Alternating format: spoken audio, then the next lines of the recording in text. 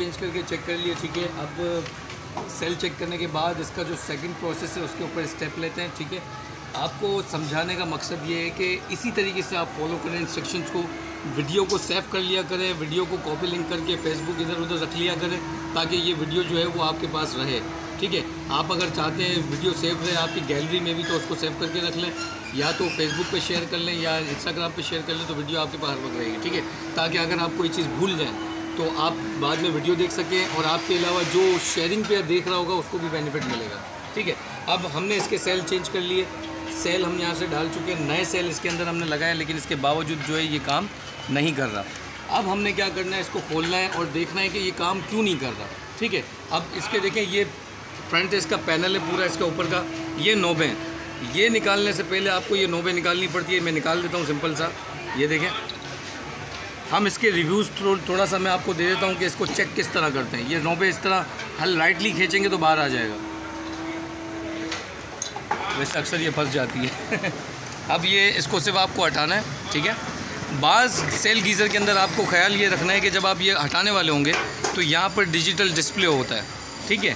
तो जब आप इसको यूँ करेंगे तो डिजिटल डिस्प्ले का जो तार होता है यहाँ क्लिप लगा हुआ होगा। तो आपको ख्याल ये करना है कि डिस्प्ले का क्लिप पहले इसको थोड़ा सा मूव करके डिस्प्ले का क्लिप निकालें इसके बाद इसको हटाएँ ठीक है? अब इसमें नहीं है तो हम इसको सिंपल सा हटा लेते हटा लेते ठीक है? अब इसके अंदर काम करने से पहले समझ लें कि इसमें चीज़ें क्या हैं ठीक है? जब तक आप इन चीज़ों को नहीं समझेंगे आपको समझ नहीं आएगा कि काम क्या करना है आपने ठीक है? अब ये देखें ये इसके अंदर कोई टैंक नहीं है एक सिर्फ़ इसके अंदर एक टैंक शेप में पाइपिंग दी हुई है। बर्नर है यहाँ पर ये बर्नर लगे हुए हैं एग्नेटर लगे हुए हैं बर्नर लगा हुआ है। इग्नेटर क्या होता है? बर्नर क्या होता है? इसके ऊपर भी बात करूँगा मैं। पानी जो है, इस लाइन में से होता हुआ गुजरता है। ठीक। ठीक है? तो पानी इस लाइन में से होता हुआ गुजरता है तो बर्नर जब जल रहे होते हैं तो पानी गर्म हो जाता है, जिसकी वजह से सेकंडों में आपको गर्म पानी मिल जाता है। ठीक है? सेल गीज़र देखें सेल आपने यहाँ पे प्लेस किए।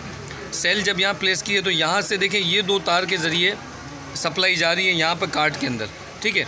तो सेल हमने नए लगाए तो हमें तो पता है सेल ख़राब नहीं है। या तो डिब्बी ख़राब हो सकती है तो डिब्बी को चेक करने का तरीका भी बताता हूँ आपको। इसके बाद कनेक्शन सारे यहाँ जा रहे हैं, और ये कनेक्शन जाने, जिस जगह से जा रहे हैं, वो है ये बटन। ठीक है? ऑन ऑफ़ का काम ये बटन कर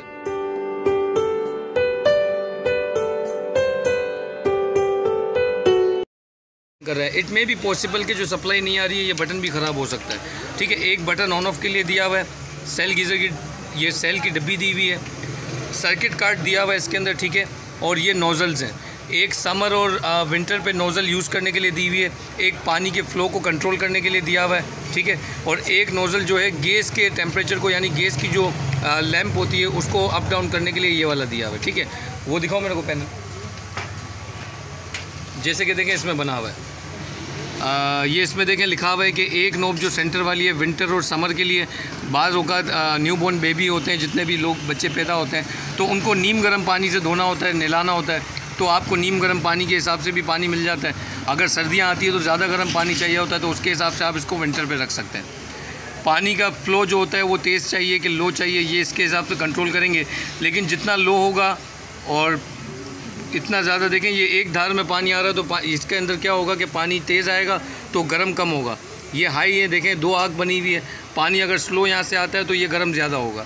यहाँ पर आप देख लें गैस का जो लैम्प है, वो अप एंड डाउन, माइन और मैक्स देखें, यहाँ से होगा। ठीक है? तो ये कुछ रिव्यूज़ था इसके हवाले से। या तो आपकी डिब्बी ख़राब है, या आपके सर्किट कार्ड में ख़राबी है, या आपका जो यहाँ पर ये जो दिया हुआ है बटन या तो ये बटन ख़राब है ठीक है? बटन और ये अगर सब सही भी हुआ तो ये इसके अंदर आप सेंसर देख रहे हैं। ये सेंसर ये इस पाइप के साथ लगा हुआ है जिससे पानी इनलेट होता है। वाटर इनलेट का पाइप है ये इसके ऊपर सेंसर लगा हुआ है। या तो ये इनलेट वाल का जो सेंसर लगा हुआ है ये ख़राब है ठीक है? तो जो भी ख़राब है हम आपके साथ चेक करेंगे और आपको सिखाएँगे कि इसको काम कैसे करना है ठीक है? और सबसे पहले आ, सेल गीज़र वाला मामला आपने देख लिया ठीक है? सेल गीज़र वाला, यहाँ से देखें, सेल के ज़रिए बैटरीज हमने न्यू लगाई हुई हैं।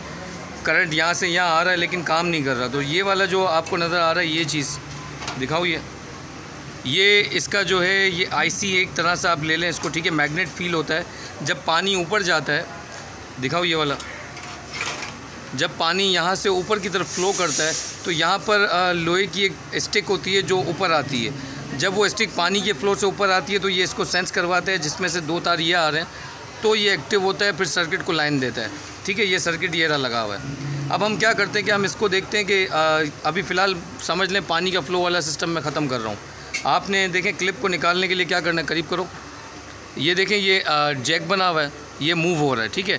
आपको इस जैक को दबाना है, दबाएँगे नहीं जब तक निकलेगा नहीं, ठीक है। आप ऐसे खींचेंगे, ये बाहर नहीं आएगा, ठीक है। बाहर नहीं आएगा, लेकिन आप जब दबाएँगे इसको, आप देखें ये मूव हो रहा है ऊपर। जैसे ही दबाएँगे तो ये बाहर आ जाएगा। ठीक है? तो ये इस तरीके से आपको पहले निकालना है। और आपने क्या करना है? सेल लगे हुए हैं इसके अंदर।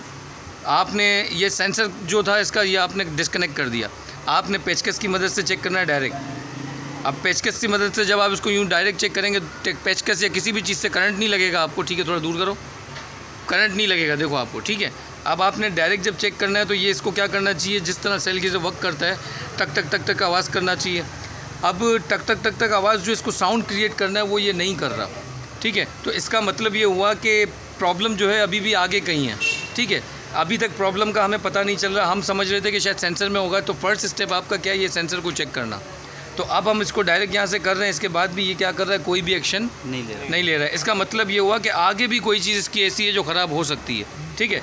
आपने क्या करना है? आपने ये जैक वापस लगा देना है। अब आगे की चीज़ की तरफ़ चले जाना है। ठीक है? आगे आपको सिर्फ़ एक चीज़ जो होती है कंपलसरी जो आपको चेक करनी होती है। ठीक है? ये मैं आपको बता देता हूँ। आपने देखें, पहले टैपिंग खोल लें ताकि ईजी हो जाए, थोड़ा सा समझ आ जाए आप लोगों को तार कहाँ से कहाँ जा रहा है।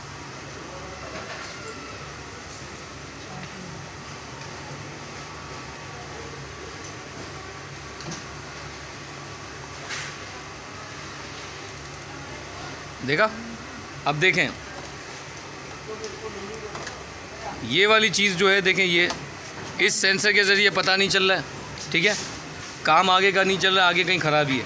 अब मैं इसका जो बटन है, ये वाला जो बटन है, ठीक है? इस बटन का जो जैक है, वो ये रहा, ठीक है?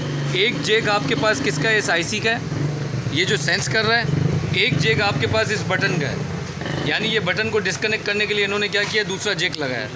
एक जेक से जब हमने डायरेक्ट किया बटन ऑन किया तो तो भी क्या कर रहा है? आगे से ऑन नहीं हो रहा नहीं हो रहा। ठीक है? हमने इसको वापस लगा दिया। अब दूसरे जेक की तरफ़ से जब मैं इसको डायरेक्ट करता हूँ आप देखें ये दूसरा जेक मैंने निकाल दिया। इसका बटन से मामला क्या हो गया इसका? ख़त्म हो गया। अब मैं जब इसको पुश करता हूँ आप देखें एलईडी ग्लो करना शुरू कर देती है। गौर से देखें। दो साउंड आ रहे हैं। एक साउंड ये टक टक टक टक कर रहा है और दूसरा साउंड टक कर रहा है। एक साउंड जो टक टक टक टक जो आवाज़ आ रहा है आपको वो इसके बर्नर का है। किसका है? बर्नर का। बर्नर का यानी ये टक टक टक टक एक लाइटर की तरह काम करता है। जब चिंगारियाँ आती है एग्नेटर काम करता है तो जब उसमें गैस आ रही होती है तो चिंगारियों से गैस क्या हो जाती है? रोशन हो जाती है। फिर आग लगने लगती है बर्नर के अंदर ठीक है? तो इग्नेटर काम करता है चिंगारी का। सेकंड जो काम होता है ये सेलोनेट वाल का। लगाओ दिखाओ ये। ये सेलोनेट वाल जो होता है ये सेकंड काम करता है। पहला साउंड इसका आता है। सेकंड साउंड आप नोट करें क्या आ रहा है। करीब करो बेटा। जूम नहीं करो करीब करो कैमरा अब देखो सेकंड साउंड को महसूस करना सेकंड साउंड आपको कौन सा आ रहा है?